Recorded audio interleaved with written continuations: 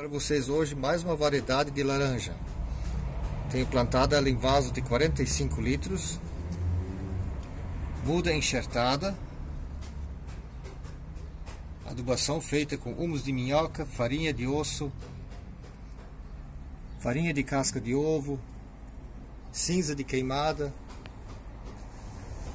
É a variedade laranja abacaxi.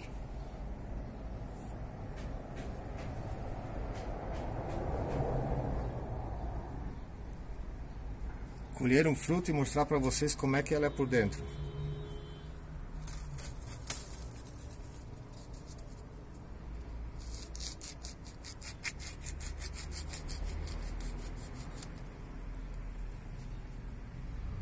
Bastante suco.